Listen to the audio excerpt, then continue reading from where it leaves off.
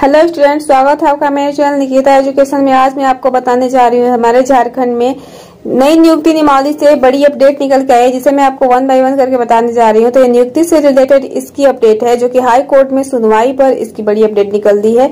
तो इसकी देखिए, सुनवाई क्या हुई है हाई कोर्ट में, मैं आपको वन बाय वन करके सारे प्रोसेस बताने जा रही हूँ। तो वीडियो अच्छी लगे तो लाइक कर दीजिए, और कोई भी डाउट होता है तो कमेंट बॉक्स में कमेंट करके मुझसे पूछ सकते हैं। तो चलिए वीडियो को स्टार्ट करते हैं और आपको बताते हैं कि क्या इसमें जो नई नियुक्ति नियमावली झारखंड में आई है, उससे क्या अपडेट निकल के आई है? तो देखिए, मैं बताना चाहती हूँ इसमें कि झारखंड में जो नई नियुक्ति नियमावली आई हुई है, उसमें हाई कोर्ट का जो फैसला सुनाया जा रहा था, उसमें देखिए, बड़ी अपडेट निकल के आई है, क्योंकि क्योंकि हाई कोर्ट ने यह बताया है कि हाई कोर्ट की जो अगली सुनवाई है, वो वो सत्ताईस अप्रैल को होने वाली है।